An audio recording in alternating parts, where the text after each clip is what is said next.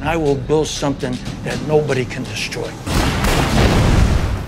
John Gotti is such an iconic person, and obviously, my Johnny is an iconic person playing another icon. So it was amazing. It was really an adventure. Initially, it was presented to me over seven years ago. It was a fabulous, modern uh, day character that I felt it would be a challenge to pull off.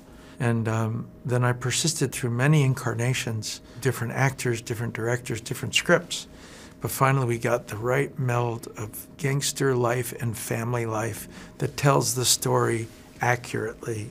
I grew up on uh, Long Island, New York, which is not too far from uh, the Gambino and Gotti stronghold uh, in, in, their heyday. So, you know, they were in the paper every day and uh, on the news every day. So, you know, I, I think there's kind of a weird uh, interest in kind of gangsters and this fascination with the gangster lifestyle. So early on, you know, we had made the creative choice to to not make it the same movie that has been made so well by you know so many great filmmakers. We really wanted to take more of a look at sort of the family life. This one was really special because of the characters. I really enjoyed playing Victoria, and I got to speak with her and really watch her ask her questions.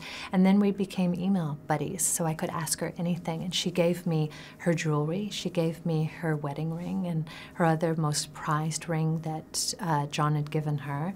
And I could ask her any question, which was kind of amazing. So if I was in a scene, I would be able to say, What would you really be feeling? Or what would you say? Or is this right? Or, uh, you know, what sort of music and everything. It was, it was wonderful. Besides portraying him accurately as I, I could, part of the challenge was to discover why was he so loved. And then I discovered that he was a very generous guy to the neighborhoods that he influenced. Um, he would bail businesses out if they were failing.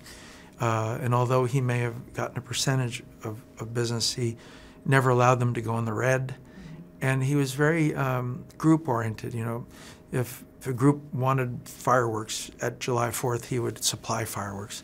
If they barbecues, uh, goodwill gestures to ill children or, or to uh, to families in need, you know. So he had a generous heart, and family mattered a lot, and uh, all that I think is a dichotomy to what you think he might be about. Mrs. Gotti, do you know what your husband does for a living? He provides.